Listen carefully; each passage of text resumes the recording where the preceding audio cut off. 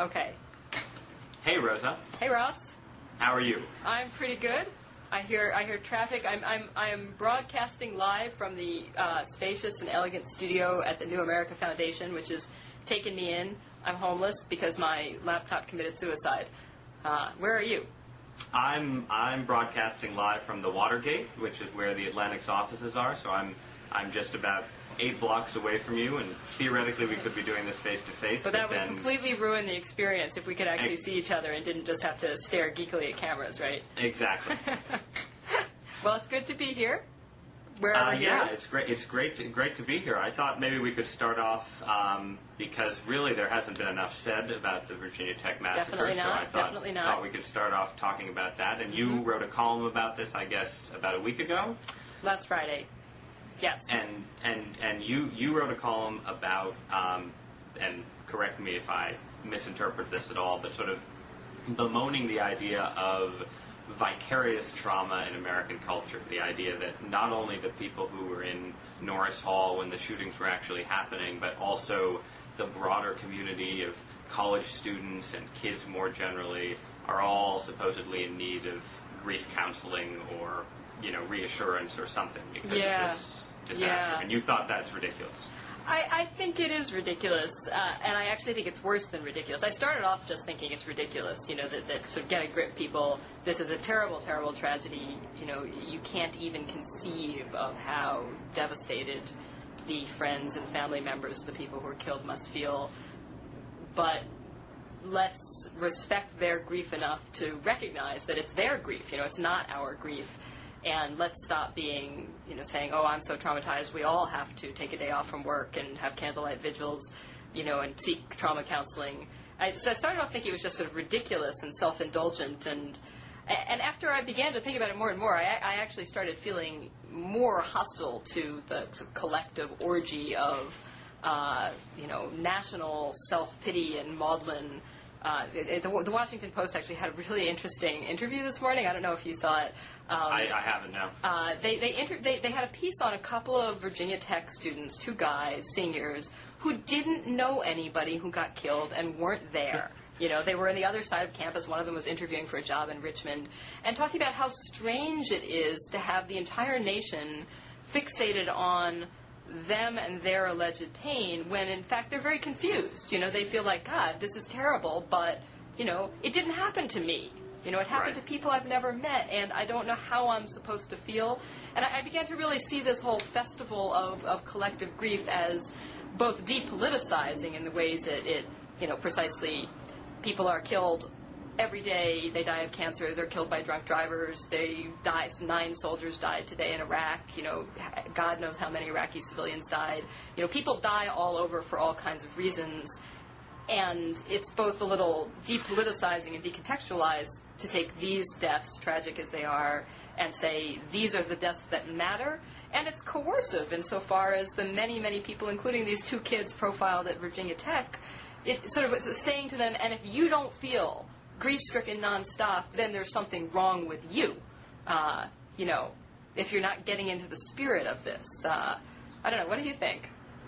Well, one, I thought it was interesting. Um, near the end of your column, you talked about. I think you quoted someone who said that maybe it was USA Today. Yes. Who said that specifically, they aren't just worried about the kids at Virginia Tech. They're worried about this whole generation because no generation of kids has grown up in an era when violence took place and there was a 24/7 news cycle.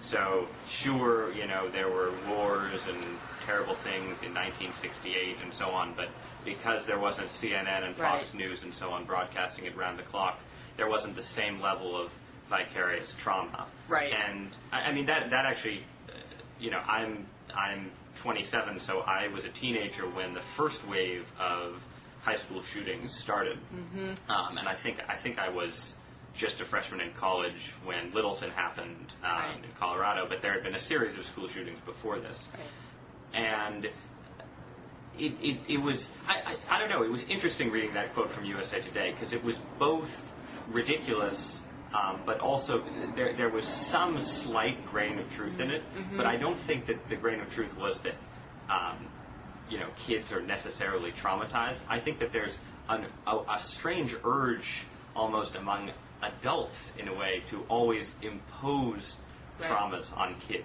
Right. And, I- and let- I, I, what this made me think of actually wasn't uh, the school shootings in the 1990s, but um, because I, I actually don't remember that having any particular impact on me and my high school, except that I would think to myself, oh, you know, I can kind of, kind of understand how that happened because there Right. are clearly, you know, there are a couple people in every high school who, Right. You know, you can just tell that they would fantasize about God, shooting I, up the you know, just to break in for one second, uh, it, I, in some ways, it's always amazing to me that these things don't happen more often.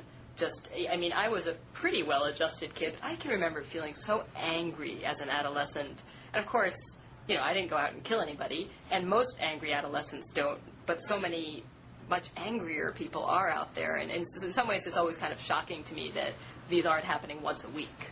But Well, anyway. my, my theory of why, you know, pe- people said, well, why is there this rash of school Mm-hmm. shootings in the 90s?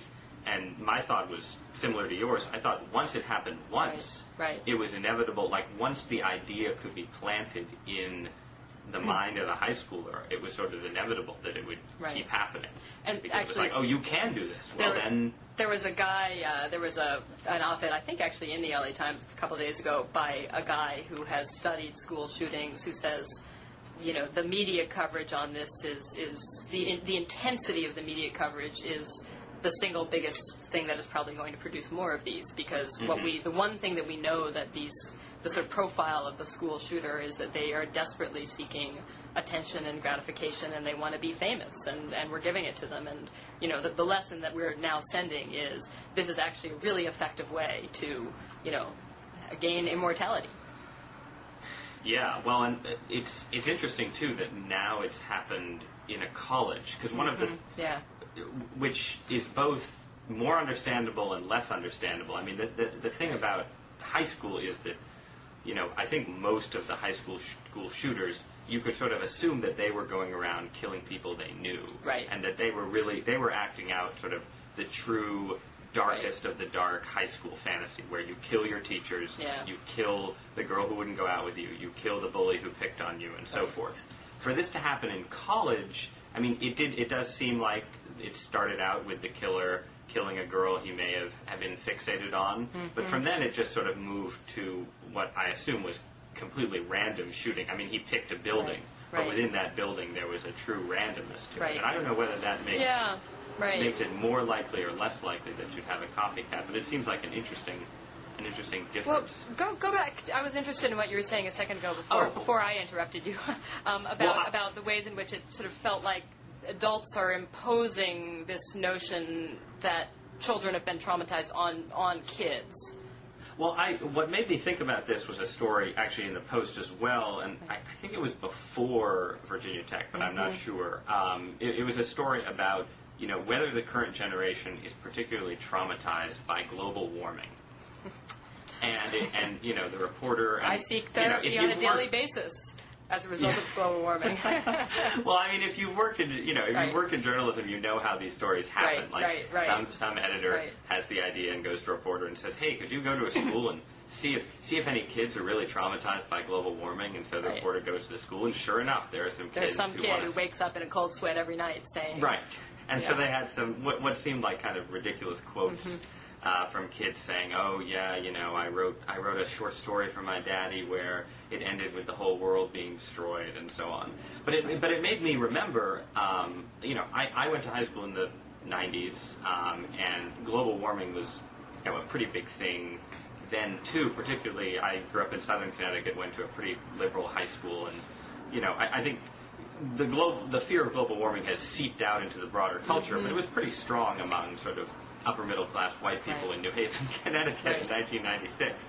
And the other thing that was really strong was the fear of overpopulation. Right. And I, I actually, I remember, you know, having these really nice, really well-meaning biology teachers, you know, throughout um, grade school and junior high and high school who would talk to us constantly about issues like, you know, they'd bring out the biology They say, don't textbook. have children, Ross. Whatever you do, Well, don't well, have and they, kids. right, they they talk about carrying capacity, Right. you know, which is a very scientific sounding term, and it was like, well, the Earth is about to reach its carrying capacity, and you know, then, uh, you know, then mass starvations will result, and, Right. and so on, and and I don't think that I was particularly traumatized by it, but but it was this sort of Right. you could tell that the adults were taking some weird kind of pleasure in taking their sort of vague Right. fears and teaching them to their children. Well, it's it's in some ways the 20th century, right? Was the, the and, and indeed this new one as well. The, the, the century of apocalyptic fear. You know that, that it was the, the era of, of nuclear. You know the nuclear threat. Uh, and, and population certainly reaching a level to raise the specter that, you know, earlier eras of human history, people could imagine and experienced, in fact, repeatedly catastrophic events from from droughts and famines to catastrophic plagues and wars. But but the idea that you know we could destroy the planet and the human species could be wiped out. Uh, uh, you know, I think that that's a uniquely not, feels like a relatively recent fear, and, and I think that the earlier versions of that, right, in the 1980s, we, we all thought that the arms race was going to lead to, you know, the U.S. and the Soviets lobbing nukes at each other. That, that in turn was a replay of the 1950s, duck and cover, you know, you know, a whole Right. generation of kids who grew up really, really fearing atomic warfare. Um, you know, so in some ways, maybe global warming is the post-Cold War version of our our technology has the speed of technological development has so far outpaced the speed of our brain development. You know, are we going to destroy ourselves? And you know, it's a variant on the same theme. Yeah, no, absolutely. Uh, it's, I mean, I think it's a less, you know, the thing with the nuclear arms race was literally someone could Right. push a button and destroy the world. Right. so, Right. so at least there was, you know, the fear, the fear of global warming is totally legitimate, but it's also not something where, you know, six-year-olds in in Topeka, Kansas, should actually be worrying about, you know, their lives being destroyed in the next five years. Well, I don't know. I mean, I you know, You in my that in my droughts- darker moments, I'm not I'm not sort of I'm not particularly an environmentalist. I've I've partly because I'm a, a human rights person. I've always had a little bit of a you know I'm going to worry about the trees when I'm taking care of the people. Um, Right. But that said, despite having some some innate skepticism about people who are more worried about the environment than about the humans. Uh, even I have gotten to the point where, you know, I, I don't know if you, do you ever read, there's a great J.G. Ballard novel, The Drowned World.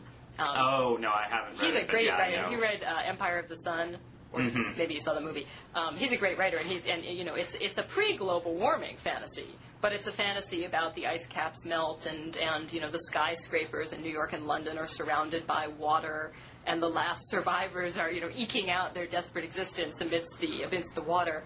Uh, and this had a tremendous impact on me when I was 13 or 14 when I read it. And, and I, you know, I worry. I, I do worry about it. I, I don't. I, I have to admit, I don't worry about it enough to do whatever Sheryl Crow is suggesting. You know, carry a little, you know, reusable napkin snap to my elbow, um, or whatever she was suggesting we do. I no doubt I should, etc. But, but. But although, although it hasn't yet gotten to the point where I'm changing my life in any way whatsoever, I'm beginning to wonder whether indeed perhaps I, I should. Don't you feel that way a little bit? Well, I mean, I, I sort of Are you buying everybody gets everybody gets shaped by by how how they grow up, and part for, I I think that I probably err too far in the opposite direction. Um, I mean, I you know think that global warming is pretty clearly happening. I think that you know it's a serious problem that needs to be addressed and so on. But I I don't think I've ever had had a moment, except maybe while watching an Inconvenient Truth, which sort of Which I've never forces seen. you forces you to worry, even Right. even when you know Al Gore is slightly exaggerating something. Um, but Right. but apart from that, I don't think there's ever been a moment where I've actually felt a real thread of worry about it. But and part of that I, I think is actually the result of you know I was a child during the 80s and Right. 90s. The 80s. As you said, we were a decade where everyone was sure that the nuclear arms race was going to wipe us out, and then So this seems like no big deal in, co- in well, and comparison growing, well, and then nuclear growing up in the '90s, you know, the population bomb idea, which Right. totally fizzled out, and now everyone's worrying about underpopulation in Europe. Mm-hmm. I mean, my default assumption is that you know the catastrophe isn't going to happen, and may, and that's perhaps a foolish assumption because you Yeah. know, someday the catastrophe is going to Sometimes catastrophes do happen, right? I mean, Yeah. I mean, they do happen. Um, and uh, you don't have kids, do you? No, No. I mean, one thing that I think did sort of change my view about all these things about risk and my, my time horizon for thinking about risk was definitely having children. You know, that, that, that all of the truisms, I mean, it's a, it's a complete cliche, right? That, you know, you want to leave a better world to your children. Well, we don't have children. That's pretty abstract. You know, you think, well, you know, sort of things will take care of themselves. And, and that definitely did change for me when I had kids, you know, that suddenly they're these real little people who you love unbearably and, and you try to think about the world that they are growing up to inhabit.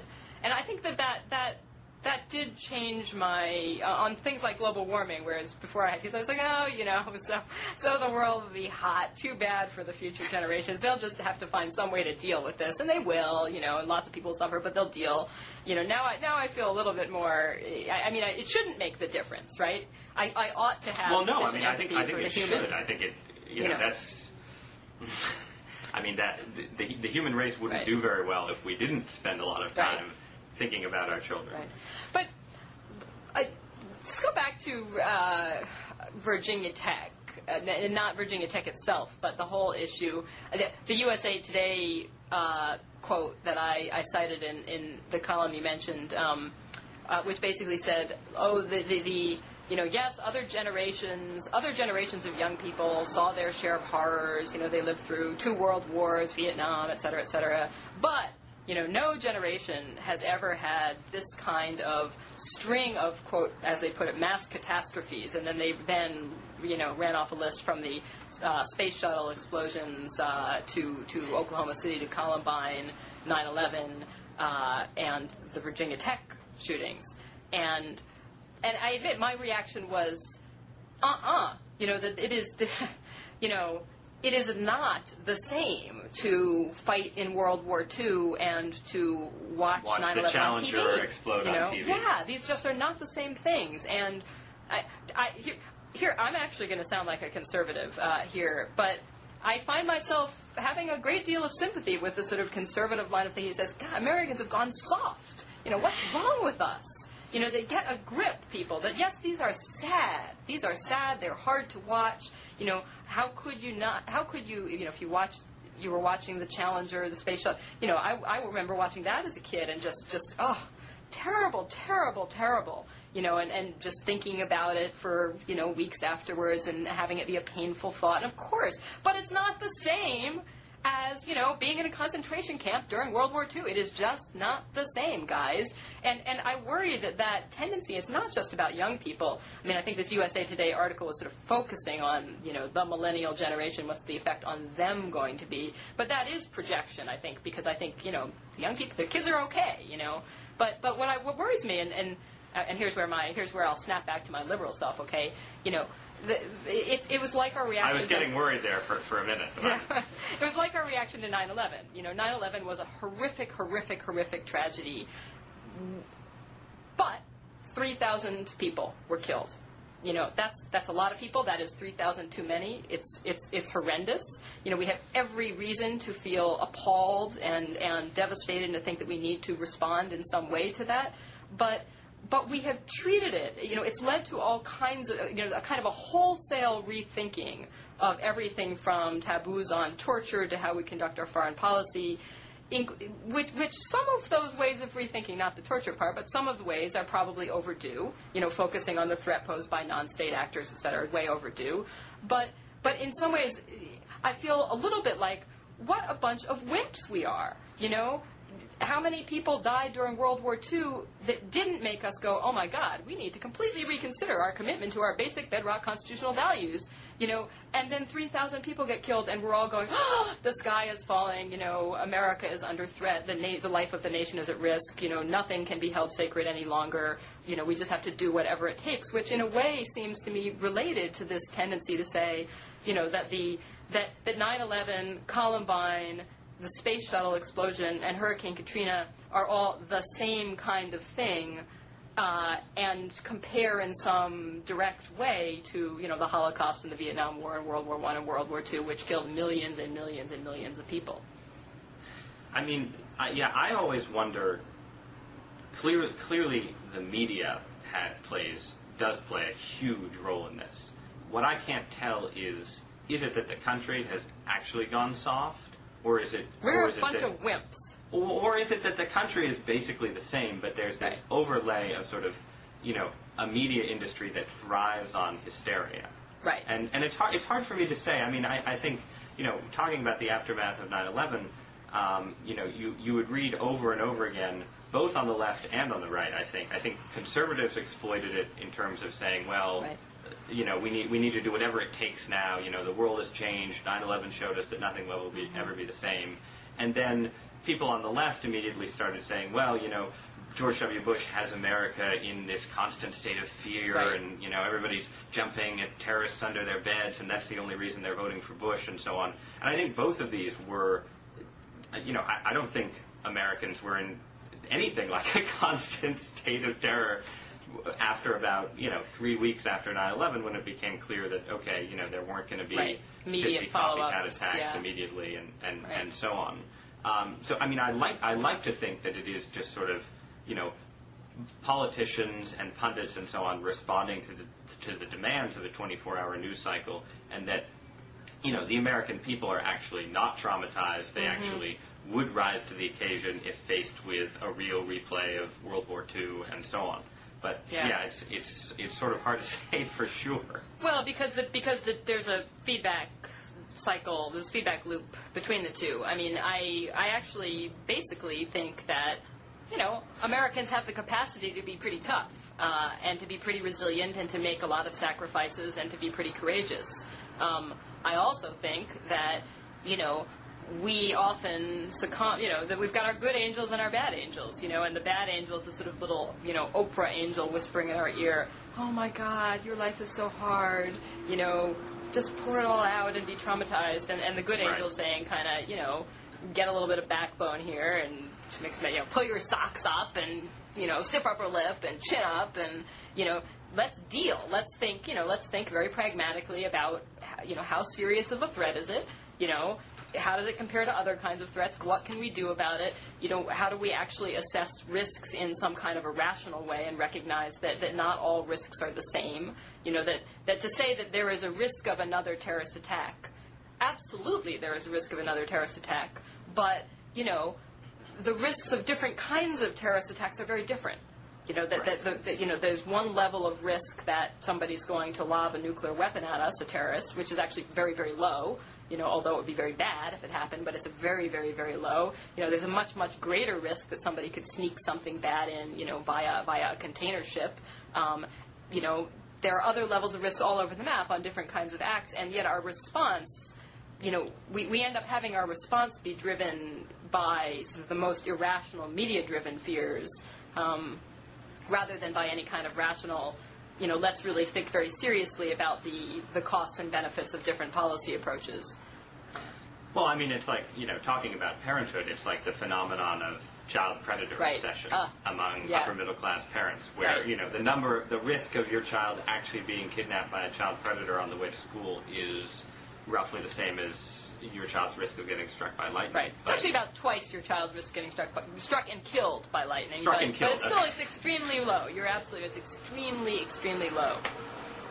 Uh, and of course, nobody thinks about you know what are the various risks of, of you know bringing up a child who never does anything by themselves and then goes out and has you know never developed any judgment or capacity for autonomous life because you've overprotected them and then does something catastrophically stupid uh, you know in adult life and gets killed because you know they never had the experience of of learning how to be autonomous earlier on.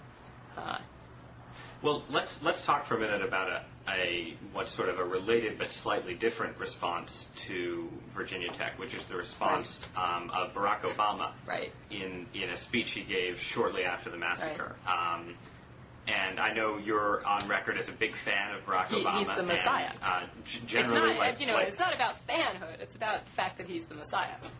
Right. Okay. Right. Well, no. Fair. Fair. enough. I mean, I, I actually can't argue with that. No. I, I, I this this is going to sound really strange. This is probably too confessional for Blogging Right. Heads TV. But I actually had a dream last night in which I saved Barack Obama from an assassination attempt. And what did he say to you? He didn't. Well, the, the, the dream ended. Actually, I shouldn't say saved because the dream ended with the outcome of the assassination attempt still somewhat in Okay. doubt. but I was definitely playing a positive role in in in preventing this this assassination. And meanwhile, the Clinton campaign was shooting at you. Well, yeah. No, actually, no. The assassins, I think, were were rednecks of some type, Okay. which which you know is is uh, just goes to show you. Um, even even conservatives think that rednecks might down. assassinate black presidential candidates. Right. But but anyway, so Barack Obama, possibly the Messiah, um, certainly a very savvy politician. Certainly, you know, the latest polls have him pulling into a tie with Hillary Clinton Mm-hmm. Really? nationally. That's interesting. Which is, yeah, the latest, the latest. I mean, it's it's Rasmussen polls which have tended Uh-huh. to show um, better scores for Obama than Right. than than other polls. So it's a little bit unclear, but certainly it's clear his support has, has been sort of steadily rising over the last four months. Right. Um, but he gave this speech, and a lot of people uh, thought, and I think rightly, that it was kind of a bad speech. Um, and what what he did, he sort of he he started with Virginia Tech and sort of you know the violence there, and then he went on this long riff about you know how there are lots of other kinds of violence in American society too, and he started with Imus and the girls from Rutgers, and then he segued into the the violence of outsourcing and people losing their jobs and, and, and so forth. And I thought this was this was a remarkably bad speech at a you know pretty big moment for a presidential Right. candidate. Sort of you know a moment when you have a chance to show what you would do in in the bully pulpit. Um, but and, and it was sort of somebody compared it to you know sort of warmed over Jesse Jackson, which is obviously the last comparison Barack Obama wants Right. being made um, at, at this point in the campaign. But I don't know. I was I was curious what you think of that sort of thread, like the idea of taking the taking the tragedy Mm-hmm. and sort of using it as a springboard to talk about larger problems in American society. You It was- know- it quoted quoted Bobby Kennedy, and it was clearly attempting to be very Bobby Kennedy-esque. Yeah. I have really mixed feelings because on the one hand I agree with you that he kind of botched the speech in a way. You know, he took a kind of stock campaign speech in which he talks about things like unemployment and, and he Right. talks about uh, racism and he talks about you know the, the host of other issues that we ought to be talking about. Of course, we ought to be talking about. And and he wanted to say something. You know, he appropriately wanted to say something about Virginia Tech. Um, but I think he, he wove it in not very persuasively and in a way that, that risked risked being misconstrued and indeed has been misconstrued because I think he, he should have been more careful with his wording. It, it looked like a kind of a you know last minute effort to sort of how, how can this be you know how can this be kind of you know jammed uh, I'm looking for I'm, I'm, I'm aphasic I can't figure out my monkey wrench, monkey whatever you know what I mean he I tried to- know what you mean. Yeah, Jerry Jerry rigged right. or something Just something trying to like kind that. of connect this thing that didn't really fit into this particular speech, but try to find a way to connect it. And and on the one hand, uh, you know, I, I, I think as I as I was saying before, I think that one of the dangers of the whole oh my God, the Virginia Tech is sort of worse than anything that has ever happened before in the history of the world. Uh, is very dangerous among other things because it, it, it operates to shut down, it decontextualizes and it depoliticizes and it operates to shut down the empathy instinct for other forms of violence, for other deaths, as well as for the continuum of bad things that happen in the world that we need to think about because they're, they're not unrelated to the sudden outburst of catastrophic violence. You know, so on the one hand, I think, you know, of course, you know, the Virginia Tech shooting should be an occasion for everybody to reflect on a very wide range of things, you know, from, gee, you know, what does this have to do with gun regulations, and are there, you know, is this something that could have been prevented with different or differently implemented regulations, or is that not the issue? You know, what does this have to do with violent video games? What does this have to do with, you know, bullying? What does this have to do with very, you know, there are a ton of things that probably have some connection to this you know, and exactly how tight that linkage is in any given situation, you know, case, uh, you know, is, is, is up for debate. But, but of course, the tragedy should inspire all of us to talk about those things. And anybody who says, "Oh, this is a moment for grief at this terrible tragedy," let's not talk about gun control. Let's not talk about bullying. Let's not talk about violent video games. Just shut up. I think, you know, I think that's really inappropriate and indeed, you know, it's also an occasion to, to you know, to, to say, let's take that instinct of empathy for the people who have lost someone at Virginia Tech and think about the various other forms of pain and loss, you know, that, that, that are part of our world and have empathy towards those as well. Where I think Barack Obama made a mistake, and I think in, in, in many ways it was a rhetorical mistake rather than a, a substantive mistake. I mean, in substance, I agreed with everything in his speech, but I think he made a rhetorical mistake of talking about them all as forms of violence. Um, just because I think that that you know, in, in, in, in one sense of the word violence, if we think of violence in the sort of literal, you know, one dictionary definition of violence is, is to, you know, to do damage, to, to, to break, to, you know, to break apart um, something. And in that sense, you know, joblessness or a, a very painful racist insult is a form or forms of violence in that they, they injure and damage self-image, they injure and damage your ability, if it's a job, to feed yourself and your family. But, but the other more colloquial sense of violence, obviously, we reserve for uses of physical force. Um, and, and so I think that going in one breath from talking about uh, a form of palpable, physical, lethal violence that left 33 people dead, counting the shooter, to talking about Don Imus and unemployment is, is jarring. You know, and I think he could have avoided it very easily if he had simply said, "Let's use this, you know, as an occasion to reflect on the fact that, you know, in many ways we have a society that leaves lots of people feeling injured." And mm-hmm. let's talk about those forms of injury. Some of them may be ones that we can't do anything about, but here are here are some kinds of pain and hurt that if we took better care of our of each other, you know, if we had different policies that we might be able to reduce. Now let me talk about racism. Now let me talk about, you know, healthcare and unemployment. I think he would have avoided the issue. I think it was the use of the same term violence for everything that, that did was a little tone deaf. Even yeah, well, I mean, I. I think it was actually the the Imus thing in particular was, I think, the moment the moment where the speech jumped the shark. Um, just because I, I actually think one of the one of the things about the Virginia Tech shootings was it it sort of cast into relief just how Mm-hmm. sort of small the whole Imus debate really was. It Right, was sort of like. right. You know, in the same way that Right, like all the summer of the shark things Yeah. looked ridiculous after 9/11. It's the Imus is to Virginia Tech as Virginia Tech is to World War II. right. Right. Yeah. Um, but but no, I mean I, I, I agree. I think there's a I, I- I think the the language of violence too in that context there, there's sort of an association with almost sort of um, post uh, post communist Marxism in a way, sort of theories of you know third world subjugation and so on, where people talk about um, you know sort of economic dislocation and economic exploitation in terms of violence, and I think that that's a totally philosophical. Philosophically defensible thing to Right, do. right. I think it's a bad idea for someone running for president Right. in the United States of America, just because. I, I don't think that's that's not a language that Well, I think it's either appeals to American voters or you know the idea of unemployment as violence. Yeah. You know, in a university setting, you know, you can make you can make that argument, but Right. you know, for, for the purposes of the people Barack Obama wants to vote for him.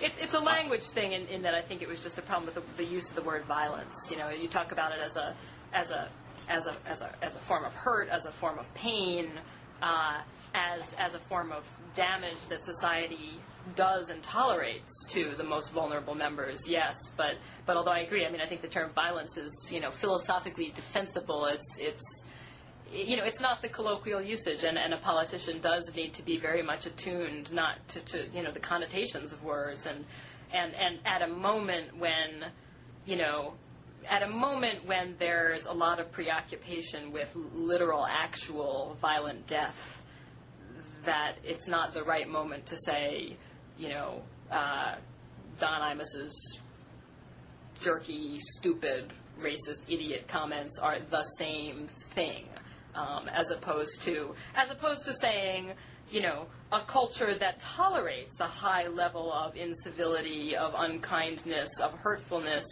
are, are, you know, is a culture that potentially creates angry people, you know, who go out and do terrible things. So let's also focus on how we can, you know, are there ways in which um, are there ways in which we can create a more nurturing culture? And you know, I mean, I think that that's that's debatable, right? It's debatable whether that's the right thing to do, whether that's a job for government, or whether this is just an exhortation to, you know, folks think about this. You know, next time you pass a, you know, next time you have an opportunity to be a jerk or to be nice, think about being nice because these things come back to bite us someday.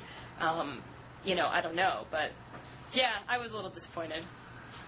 Well, I think I think he'll be fine. I, I Yeah. don't think anyone actually But I, paid I- attention I- to the speech. You, you know why I was disappointed? I was disappointed because, as I said, I completely agreed with the speech, and I and I worry that that, that the sort of sloppiness and, and not thinking about that word detracts from a message that is actually right and important. So Well, I, I also think though it's also it's a speech that might have gone over better mm-hmm. in three weeks. Mm-hmm. You know, it seems Right. it seems like the you know, or or even you know, in our fast-paced media culture, two weeks or something. Right. But it, but it seems like there are sort of levels of appropriateness, and the appropriate initial political response Right. is just bemoaning the tragedy.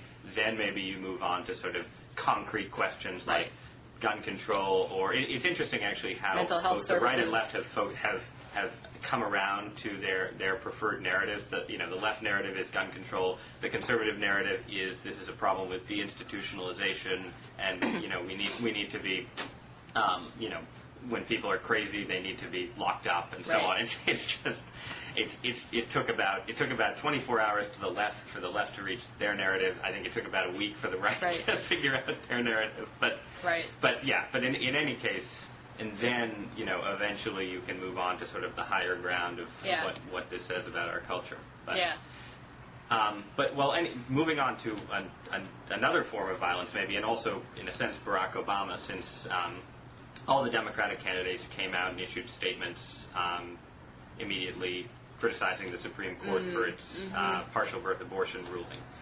Um, and I guess I guess I'm just curious. I, I assume you're pro-choice. I am pro-choice. Well, why, why don't you? So, what's what's the smart pro-choice take on this ruling? Because oh you've had a lot you know, of a lot of be rep- people. you don't want to make me representative of anything, because then I'll, I'll be denounced by the people. no, it's it's too late. You're, you're you're on the spot. You're on Um, blogging heads. Basically, it seems like there are two there are two main Right. running pro-choice narratives. Right. One of which is you can't chip away at Roe versus Wade at all. Um, you know, we, you have to defend every line, and this crossed a big line, even though the number of abortions it affects is very small. Therefore, this is really. Right. bad news. The other line is that you know, no, you shouldn't. It's you, you shouldn't be defending sort of. You, Right. that, that the pro-choice movement is sort of overexposed. It's, Right. it's it's defending too many lines, and it's better to fall back Yeah. and and so on, and restore sort of public trust in the abortion laws that we have. Anyway, I, so what, I, I am more in the second camp than in the first camp. I, I mean, I, you know, I think. Do I worry about some of the language in Kennedy's opinion? Yes, I do. You know, pretty paternalistic, pretty, pretty making a lot of assumptions, uh, not warranted by the facts. But that said, um, I don't quite see why it's in the interest of anybody to act like it's a really sacred right to have, you know, late term dilation and extraction technique. I mean, we, you know, it seems to me that the line on that ought, ought to be, yeah, this is pretty gruesome and nobody wants this and we need to come up with policies that create a situation which nobody ever needs to have this. You know, and saying there are occasionally circumstances in which for one reason or another, you know, it's the only option and when a woman's health is at stake, uh, it shouldn't just be is she going to die. It could also be, you know, is there a very grave risk to her life that nevertheless we ought to have the flexibility for her doctors and her to make that call without the legislature making that call. You know, but that said, I, I, I think that the sort of I, I do think that for, for, for too long, in a way, the pro choice movement was so anxious that if you sort of gave an inch to the anti abortion groups, they take a mile, that, that they backed themselves into a corner they shouldn't have had to be in. You know, that, that, that I, I actually do agree that everybody should be taking the line of, you know, let's work towards a situation where we don't have to have as many abortions. But, you know, in my case, I say let's have better education about contraceptive alternatives. You know, let's make sure we work on developing technologies that make morning after pills and other things safer and more effective. Uh, you know, let's, of course, I mean, this is the piece that the that the right tends not to focus on. You know, let's make sure that women who choose to have a child and keep the child have the economic wherewithal to not have that be catastrophic for them and for their families. You know, that if a child is born, that we're going to take care of that child and not have that child end up, you know, suffering throughout their life because they were born poor and nobody wanted them. you know, and nobody's there to support them. Um, you know, but but but but it does seem to me that that you know, why do we want to get into a position where where we're defending something that very very few people need as as really close to our hearts. I mean, I even have always felt that the, the pro-choice terminology is extremely unfortunate. Um, you know that, that it's it's it shouldn't and, this I you know I think the Ruth Bader Ginsburg line of reasoning is indeed far far more persuasive to me. You know that it's about it should be about equality, not about choices and and on it, that that formulating the right to abortion as being about the right to control your body and sexual and reproductive autonomy rights, uh, I think, was the wrong place to locate it from a jurisprudential perspective, um, and that, that that that then forces you into uh, various arguments that you shouldn't. You know, you don't want to go there. Why would you want to be defending? Why would you want to be going there? You know, you want to be defending this only as a last resort.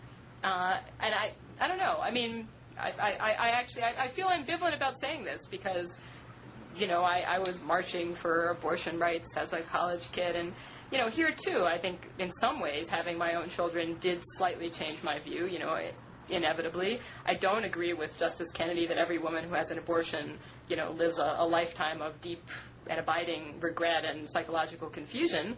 Um, but but you know certainly it was pretty pow- powerful for me at at 12 weeks or so to have an you know you do the ultrasound and you see this little fetus that looks like a baby, you know, and that looked like my baby, you know, and I can look at those ultrasound pictures now and I think that looks like, you know, that looks like my daughter.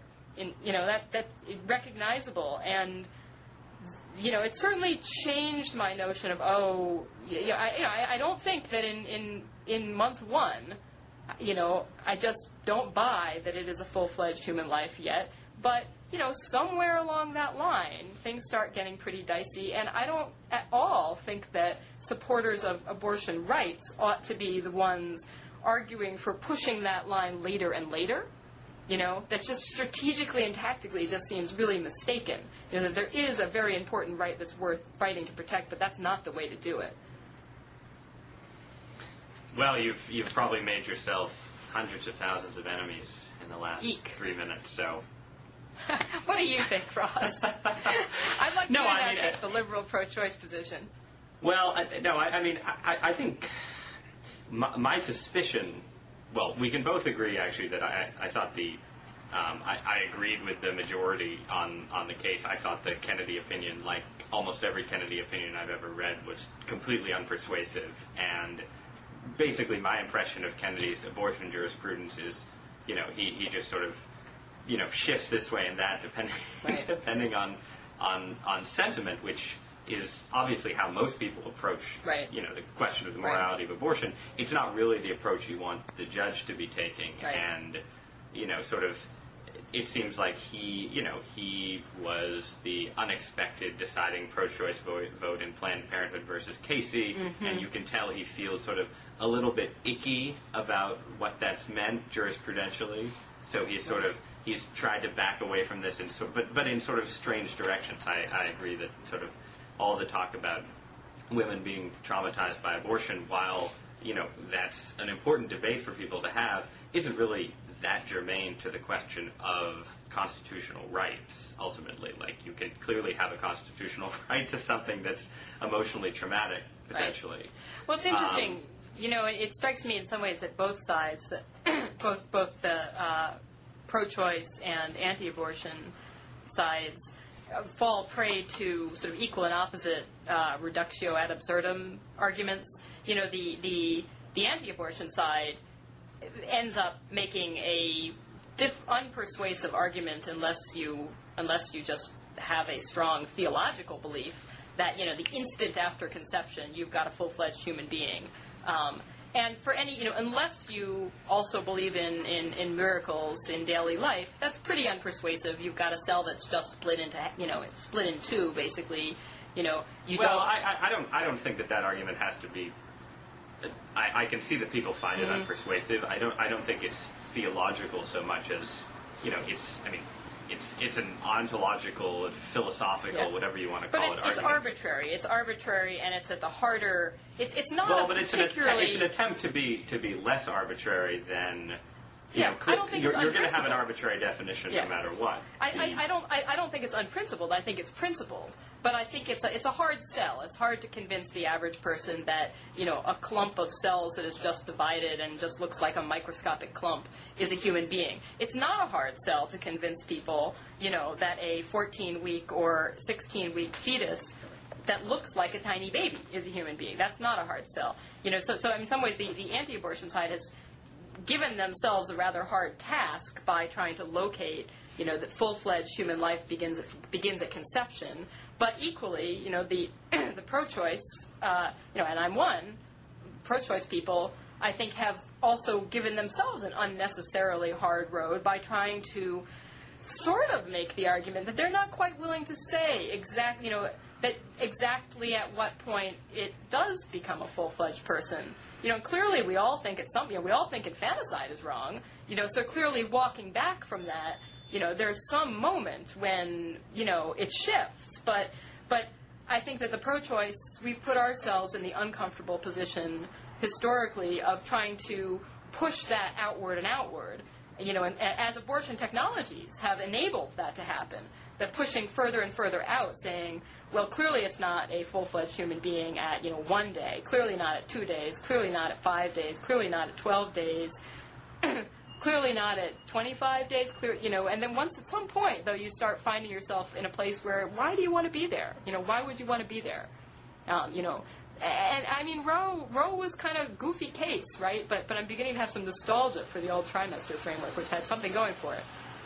Well, it had no. What what it had going for it, and the reason they latched onto it was it seemed to provide the kind of clear Mm-hmm. definitions that it turns out pregnancy actually lacks. Right. You know, in in, Right. in the same way, you know, the Catholic position in the Middle Ages, roughly speaking, was you know because scientific knowledge was so scant. Right. Um, it was that quickening was the moment when abortion became Right. became became immoral because it was assumed Right. well there was something in a woman up till quickening, but it wasn't alive, and then it suddenly became alive. But now, uh, you know, now we know that's not true, Yeah. which is why, you know, the Catholic Church has taken, you know, what what you what you would call the sort of more extreme, you know, sperm sperm and egg uniting position. Mm-hmm. You know I mean, what, I, I, I think I think that you know, obviously.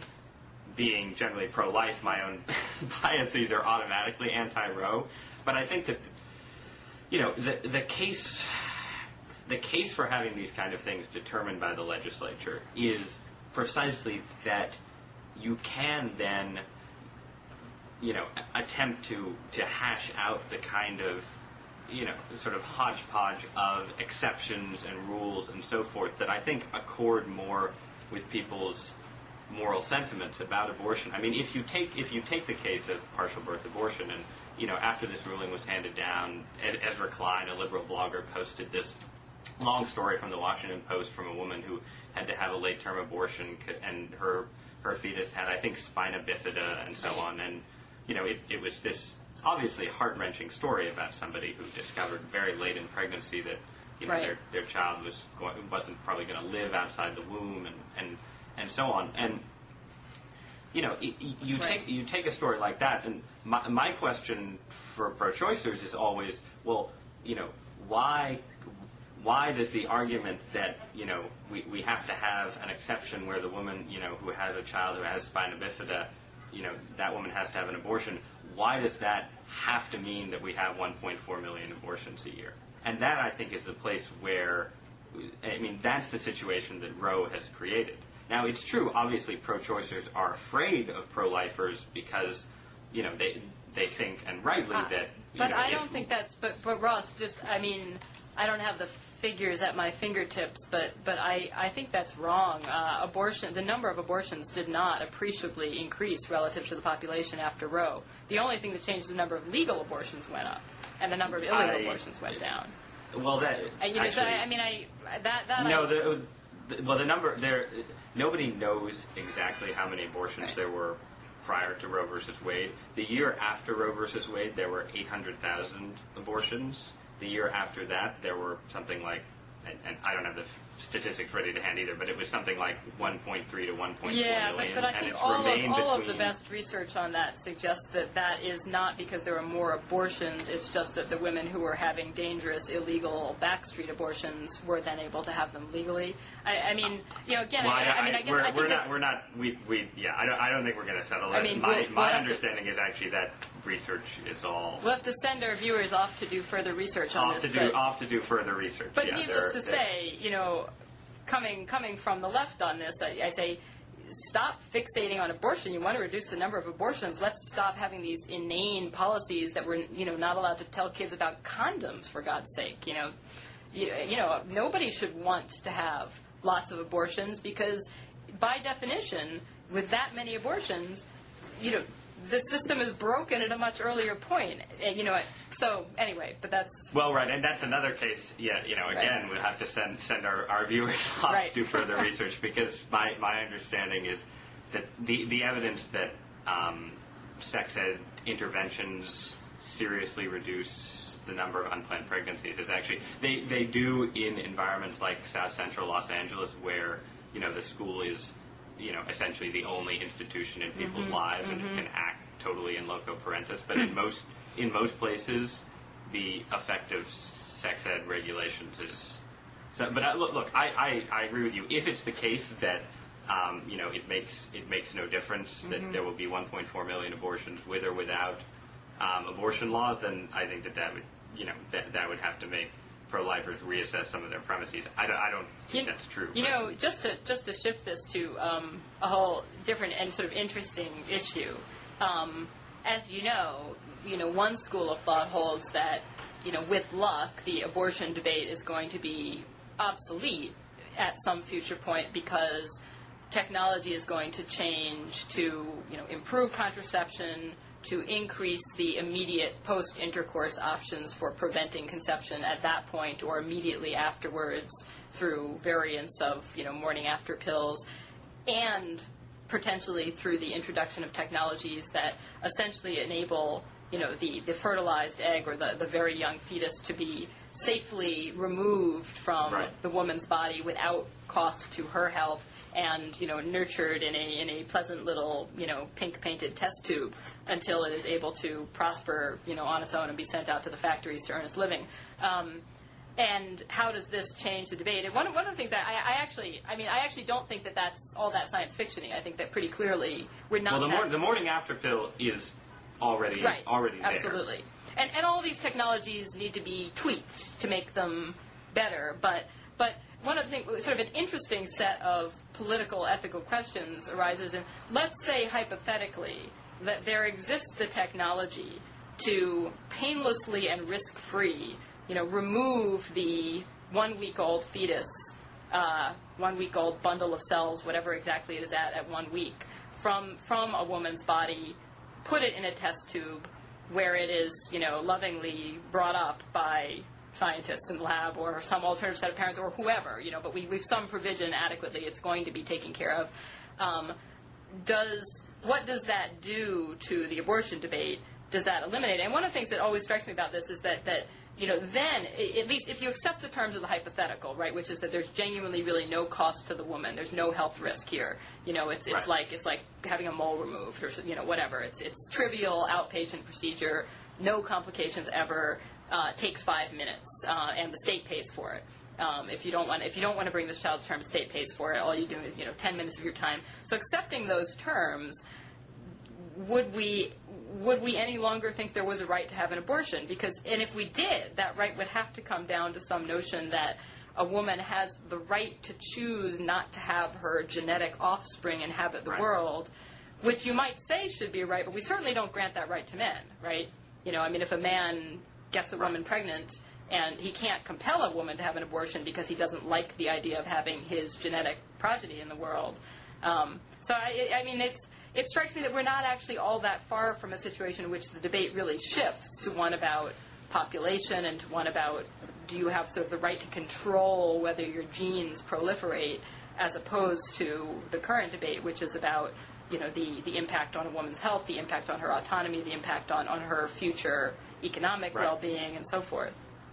I mean, I think that the hypothetical you throw out would actually be transformative and revolutionary. I, I mean, I, I don't think it would it would remove the debate. I think you'd it would definitely shift alliances mm-hmm. politically to a certain degree, and you might have something more like the old alliance between you know people who are pro-life Right. and people in the Democratic Party who consider themselves pro-poor and so forth.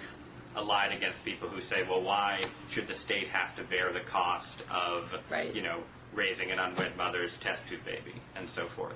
I think it's interesting though to see what's happened with the morning Right. after pill because, and, and I think actually this is another example of the trap that Roe has put both pro-choicers and pro-lifers in because the, mor- the morning after pill is a potentially revolutionary technology. Um, the, the problem is pro-lifers have become Right. so invested in Life it- it's sort of it's the, it's the well, but it's it's not even that. I mean, I, I think you know. I think life begins at conception. Everything that I've read about the morning after pill suggests that the evidence that it actually has an abortifacient effect is very small, and it may have an abortifacient effect in some, you know, 0.01% of cases, but generally speaking, it doesn't. And I think that therefore this is a place where it would make sense for pro-lifers, particularly in a country that's you know, sympathetic to pro-lifers, but generally leans pro-choice, to say, well, you know, here's a place where we Right. should compromise, and we'll train Wait, you. can you explain? Um, um, maybe I just don't know enough about. Don't, I'm embarrassingly ignorant of the technology. When you say it, there's not much. How does it work then if it doesn't have an? A, a, what am I missing? This is this is this is where I'd, I'd have to pull up the. I, I spent like a week reading these studies at some point, but basically, the idea of the morning after pill, the theory of it, mm-hmm. is that it doesn't prevent concept. Or, you know, is that it prevents conception. It acts as an immediate ovulation suppressant. Okay, so, it the doesn't sperm, the sperm destroy in the women's body, I get but it. if she hasn't ovulated yet, she won't ovulate. Okay, okay, However, it also may have some because Right. it causes a hormonal change. Right. It may have some effect on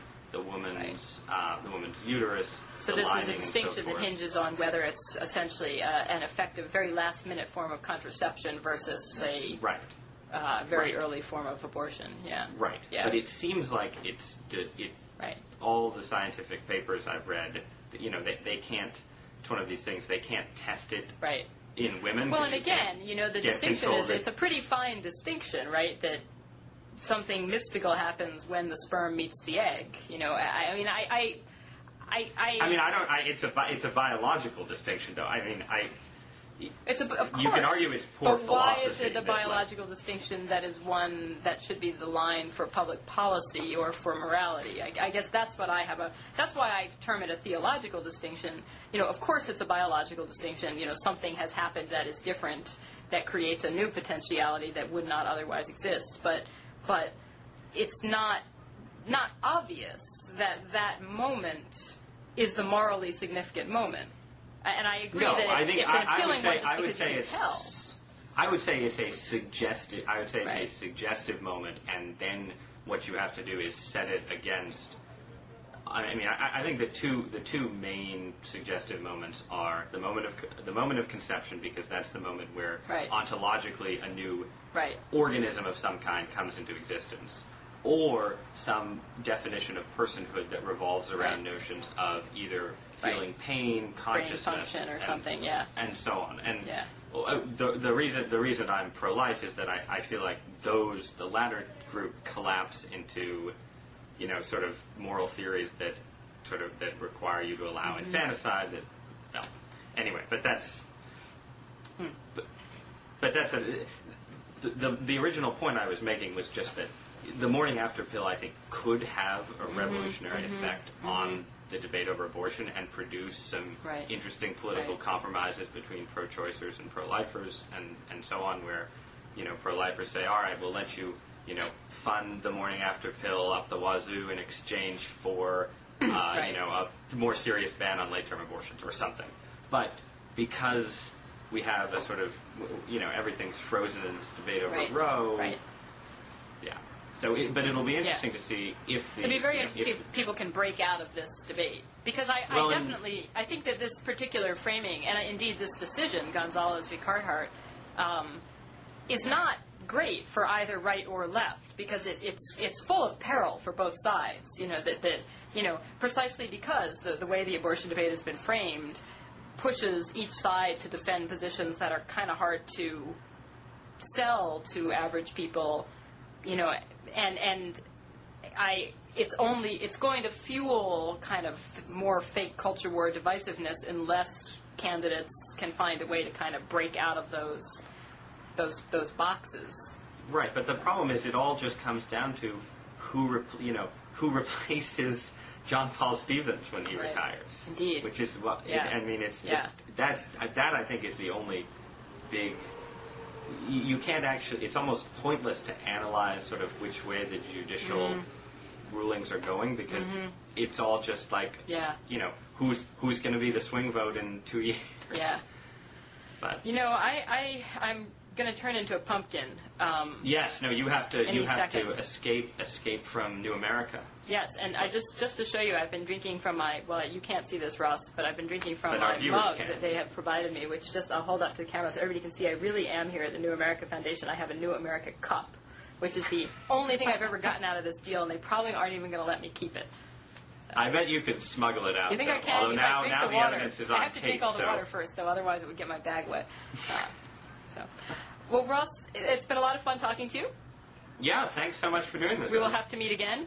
Uh, Absolutely. Maybe we can even meet in person someday on some. I, I don't. You know, I don't know. That would be weird. no, that's that's crossing crossing a line. Let's Right. let's keep it electronic. well, thanks a lot, Ross. I'll, I'll, I'll talk to you soon. Hopefully, back on Bloggingheads. Absolutely. Talk to you soon, Rosa. Bye. Bye.